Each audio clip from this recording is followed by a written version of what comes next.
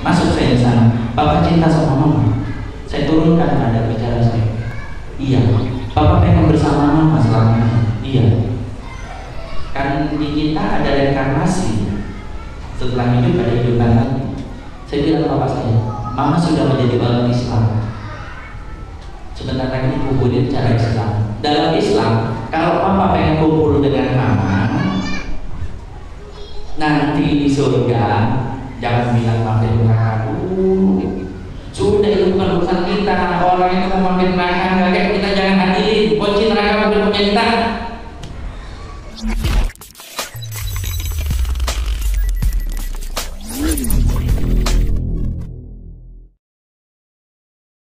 Saya berasal dari keluarga Konghucu, di mana banyak menyembah dewa-dewa. Ayo tahunya dewa siapa? Isu gopong? Yang bujang taunya pakai, apalagi berpatah hati. Dari dulu punya cinta. Ya ceritanya tidak akhir katanya. Paling begitu. Yang mindsetnya seperti itu, begitu nyanyi lagu, aku merasa orang termiskin di dunia setan yang takutin eh kuntilanak bajunya keempat kambing ya Allah menderita banget kamu boy gitu bro hujan hujan rubah dong dari dulu begini cinta membuat hati selalu membayangkan dan hati selalu berbulu di mana bunga-bunga mulai mekar indah mewangi penuh warna rubah gitu dong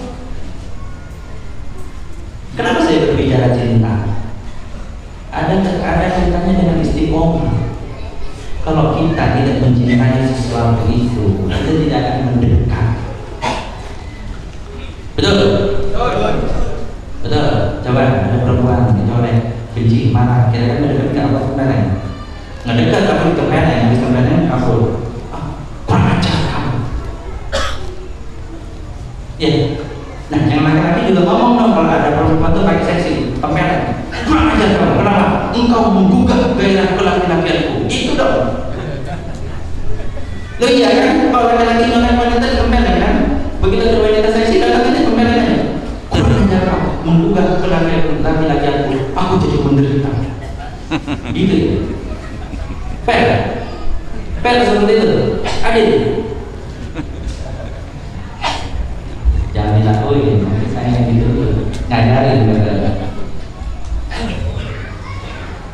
jadi kita itu bisa melakukan sesuatu itu dengan enjoy karena kita cinta ayo kita berpuluh tahun saya nggak mau ngajarin nggak ngajarin nggak mau ngajarin tentang pacaran cinta puluhan tahun dia gajian pasti dikasih istri kenapa karena ada cinta di sana begitu punya anak ya punya anak anaknya rewel puk buang air besar dicebok kita harus cebok sendiri Oke.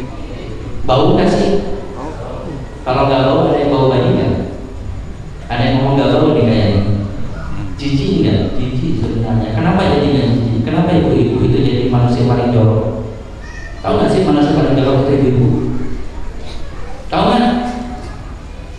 Anaknya pipis kena bajunya. Ganti baju nggak? Karena nggak ada baju. Ganti baju kalau bapaknya udah pulang. Bajunya bau bersih anaknya empuk dibersihin.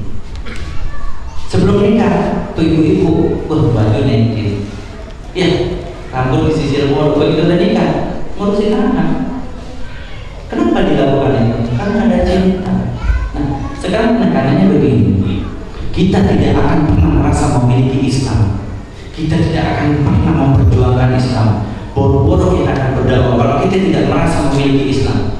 Dan kita tidak akan merasa memiliki Islam ketika kita tidak mencintai Islam itu. Dan kita tidak akan mencintai Islam ketika kita tidak tahu Islam itu apa. Ketika kita asing terhadap Islam kita tidak akan pernah mencintai Islam. Dan Islam itu akan menjadi asing buat kita ketika kita tidak tergerak untuk mempelajari Islam itu sendiri. Iya betul.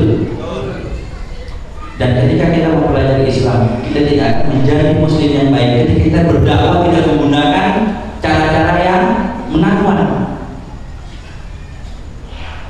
main bid'ahan orang saja main kafirkan orang saja nanti kafir nanti bid'ah masuk neraka eh kok neraka punya dia sekarang malaikat malik diambil kuncinya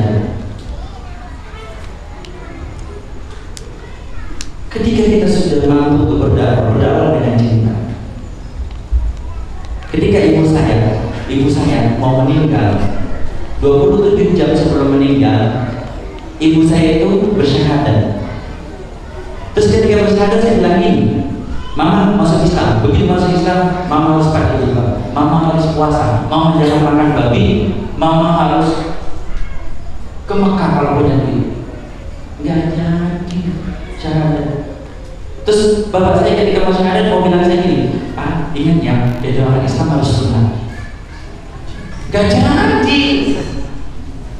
Gak jadi dia bilang barang gua bagus bagus tuh mutilasi.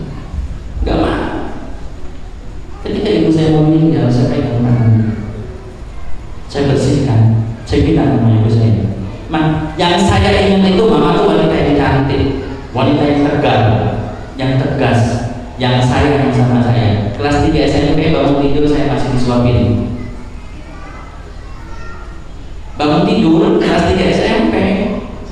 Jadi cewek, udah ngerti cewek disuapin.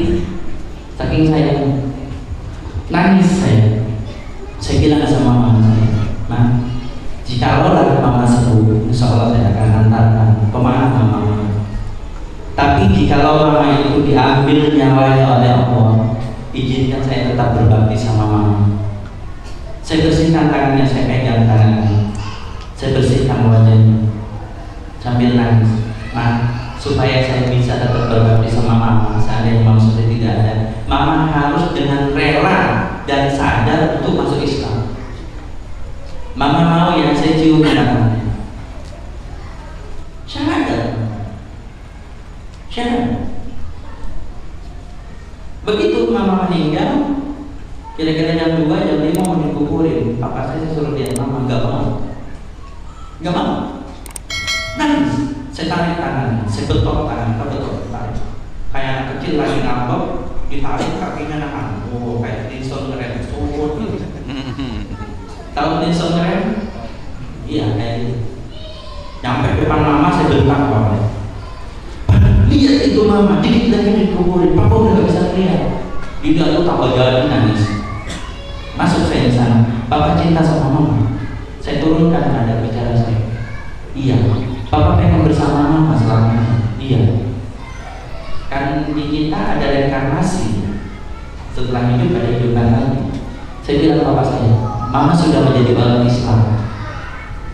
Sebentar lagi dikuburin cara Islam. Dalam Islam, kalau papa pengen kumpul dengan mama,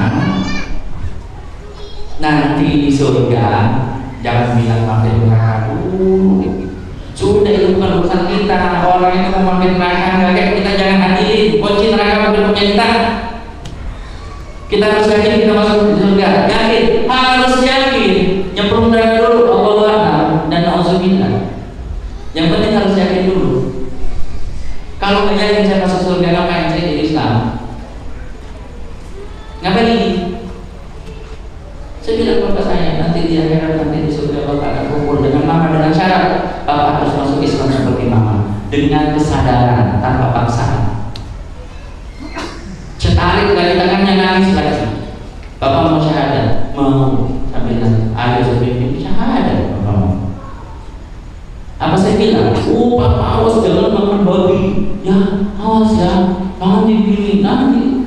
Harus kita harus puasa. Gak jadi pakai bahasa kolbu, bahasa cinta. Nanti setelah dia itu ngerti senang dengan Islam, baru ajarkan dengan baik. Gini loh tuntunannya, ini loh hadisnya. Begitu ada orang salah, salah kamu ibadahnya gak terima sama Allah, masuk neraka kamu. Dia bilang, gua baru insaf, baru mulai sholat, gua gak ngerti Islam. Begitu masuk masjid, gua dimasukin neraka sama yang lihat, sama yang punya kunci neraka. Kan? Gak kira ke masjid lagi besokannya. Biarkan yang salah dulu, biarkan deketin. Hasan dan Husain melihat seorang laki-laki seorang laki-laki salah berwudu apa kata Hasan sama Husain rukunan wudhu di sebelahnya wahai Husain bagaimana Pak kakek kita berwudu oh seperti ini Hasan terus bagaimana lagi seperti ini bapak-bapak di sebelahnya itu melihat cucunya Rasulullah berwudu.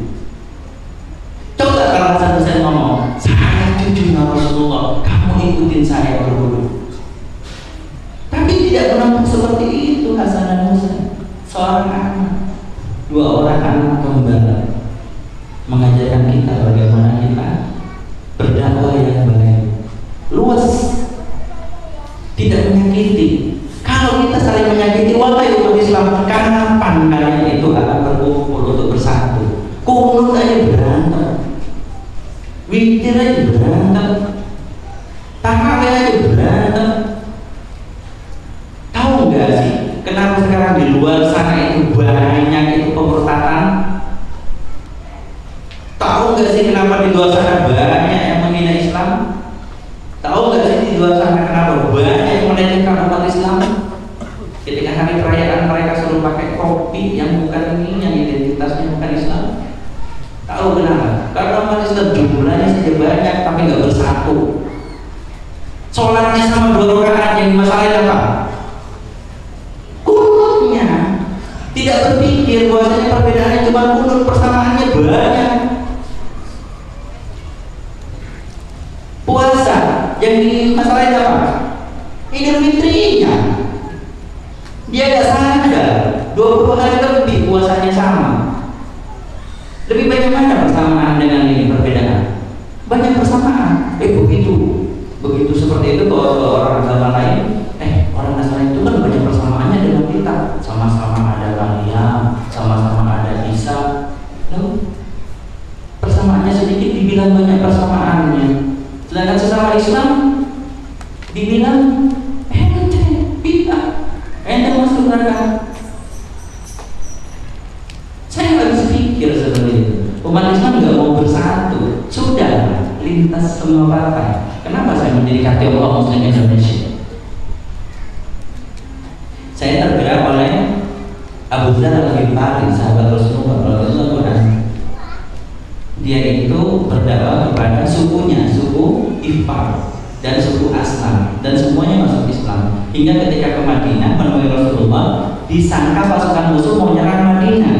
Penduduk Madinah tetap ketakutan mempersiapkan diri. Begitu dilihat Abu yang di depan nah saya dari Tiongkok Muslim Indonesia saya di Islam saya nggak mau ada lagi di partai. Dulu saya berdiri partai.